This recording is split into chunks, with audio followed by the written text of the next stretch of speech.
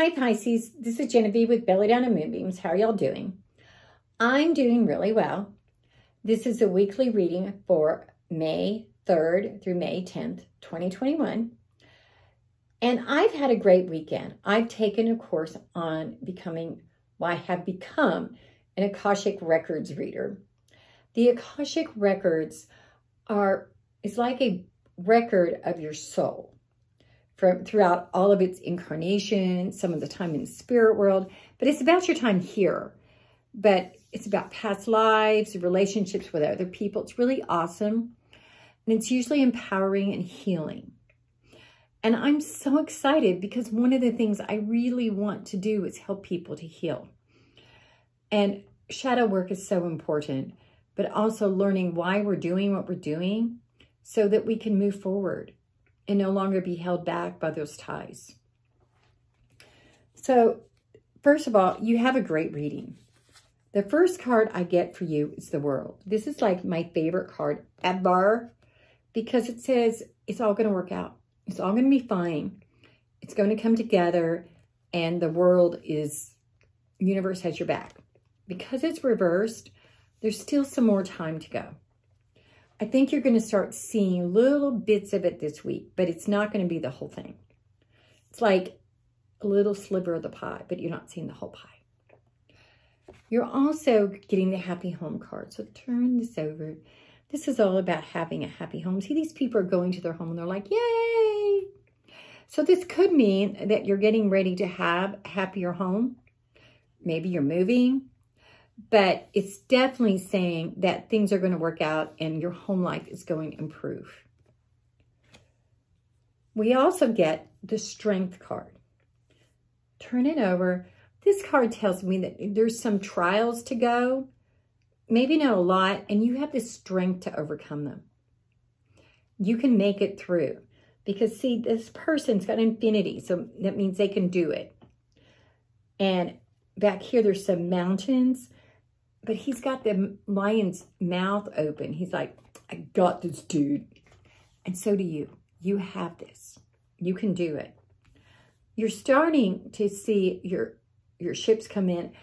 And this card tells me that you're probably going to take a small trip this week because he's looking at the world. It could also just be that you're starting to plan a trip. But if you do take a trip, it's going to be a small one. I mean, really small like, I don't know, an hour, maybe two. But it could be longer, but I, I don't think that it's going to be a lot. But you're definitely going to, there's definitely some potential for travel, whether it's coming now or you're planning it. Now we have a card, it's reverse, about decisions. He's got, things are coming to an end and he's going to make a decision where he's going from here. So what do you want to do? How do you want this to look? He's got to find his way out of these decisions. And it's been hard. But it's also getting ready to be a time to celebrate. Turn it over. It's not here yet. This is all about like having champagne with your buds, hanging out. it's all going to be fine. You're like, yay, yay, yay, yay. So, but you're moving into that. It's not here yet. It's going to happen. Now I'm going to pull a couple of cards from Oracle decks. I'm not going to go into which ones or whatever. So if you want to know, just send me a text and I'll let you know. Ceremony, invocation. This card, ceremony, is getting in touch with your spiritual side.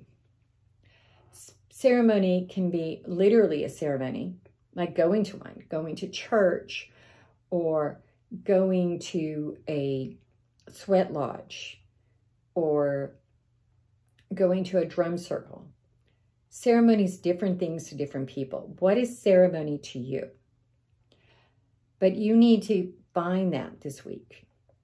It can be literally meditating or taking a walk in the national forest and seeing the trees and the stars. Ceremony is different to everyone.